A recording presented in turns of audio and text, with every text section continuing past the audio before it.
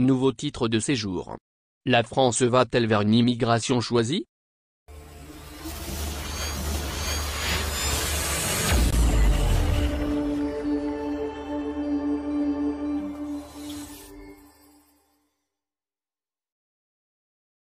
À travers le nouveau titre de séjour qu'il propose, le gouvernement français va-t-il adopter le concept de l'immigration prôné par l'ancien président, Nicolas Sarkozy? L'idée n'est en fait pas si loin que de ce que proposait ce dernier, estime-t-on. Ancien ministre de l'Intérieur, devenu président de la République, 2007-2012, Nicolas Sarkozy plaidait pour l'instauration d'un système de quotas d'immigration en fonction des besoins dans certaines branches professionnelles.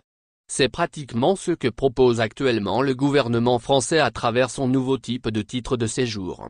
Dévoilé il y a quelques jours par le ministre de l'Intérieur et celui du Travail, ce procédé ou ce qu'ils ont appelé titre de séjour métier en tension, permet la régularisation des sans-papiers étrangers qui veulent travailler dans une profession en mal de recrutement et qui souffrent de manque de main-d'œuvre.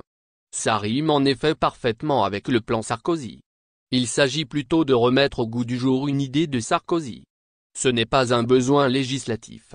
Il s'agit plutôt de remettre au goût du jour une idée de Sarkozy, celle de l'immigration choisie, face à l'immigration subie, pense d'ailleurs Virginie Guiraudon, directrice de recherche CNRS au Centre d'études européennes de Sciences Po Paris et spécialiste de l'évolution des politiques migratoires françaises et européennes cité mercredi 9 novembre par le site Rapport de Force. Cette dernière estime qu'il ne s'agit d'un simple héritage de la politique de l'ex-président français. Pour elle, l'idée est de dire, on n'est pas pour du zéro immigration, on est pour choisir les migrants dont on a besoin les autres, on n'en veut pas. Vision assez instrumentale et jetable. La secrétaire générale de l'association La CIMAD, Fanelli Carré-Comte, estime de son côté que la nouvelle approche du gouvernement est une vision assez instrumentale et jetable du rapport aux personnes étrangères. C'est dire en somme que le projet du gouvernement français est loin de faire l'unanimité au sein même de la société française. Que dire alors des intéressés, les immigrés sans papier La durée de validité du titre de séjour, l'autre objet de critique.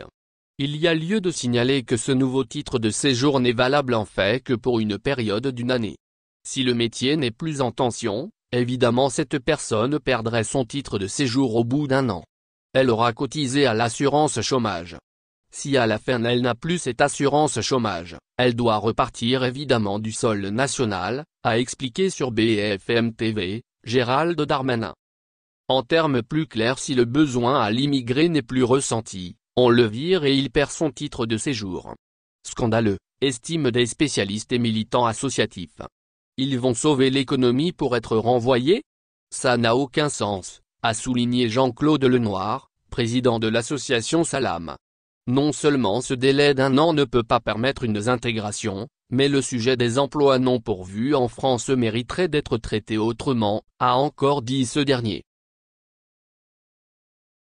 Merci de bien vouloir activer la cloche et de cliquer sur j'aime.